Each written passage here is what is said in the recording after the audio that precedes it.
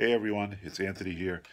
I'm about four hours removed from uh, waking up from uh, surgery on my deviated septum and also uh, um, surgery to repair and open up some of the nasal passages in my nose. And as you can see, I'm, uh, I'm at home now, uh, still bleeding from my nose. So they got this gauze uh, that I'm supposed to keep changing every so often whenever it gets saturated.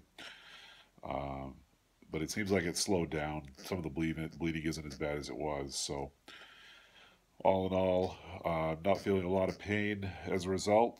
Uh, a bit of a headache. Uh, the worst, the worst thing right now is just, uh, just feeling so congested because they've got a, they got splints up both sides of my my nose. They've got a lot of gauze and other things up there.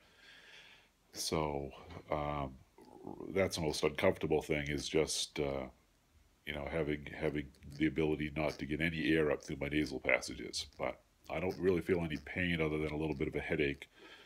And uh, they've given me some uh, some medicine to deal with the pain. I've got some hydrocodone, uh, Tylenol, basically They've also put me on antibiotics, which I'm going to start tonight, amoxicillin, for 10 days. So, all in all, uh, like I said, not a lot of pain at this point. It is a little disgusting seeing all this blood, and uh, but nothing, you know, certain nothing that's uh, uh, making me wish I did elect to have this surgery done. Um, so we'll see how it goes. We'll see when the bleeding stops. Um, I'll provide an update later. Um, if, if there's any change, probably tomorrow, if not later tonight.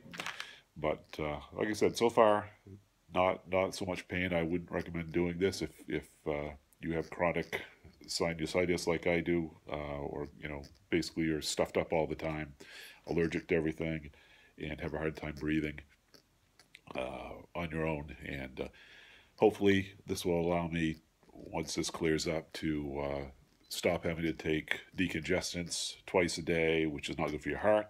And also, I've been taking Allegra for years. I've been on uh, some kind of allergy medicine for probably 20 to 25 years.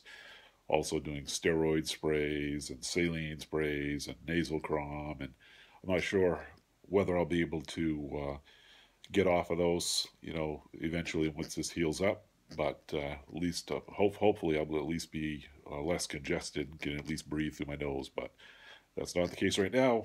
So just want to give you an update. Again, this is the day of the surgery. I had uh, I went in around six o'clock this morning, um, and uh, took me. I had to sit around for about an hour and a half. They I guess they pushed my surgery time back, and uh, so I I went in to the surgery room, the ER room, around eight thirty.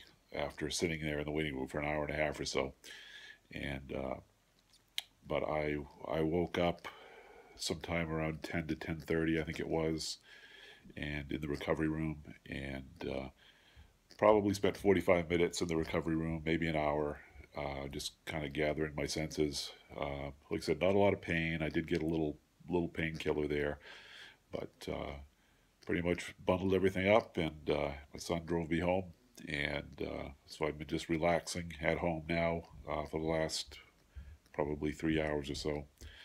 So anyway, that's it. Feel free to uh, comment if you have any questions. Uh, but for those considering this, uh, at least at this point, I'm not uh, having any regrets. Um, just waiting, waiting for the process to kind of play itself out, and we'll see where it goes from there.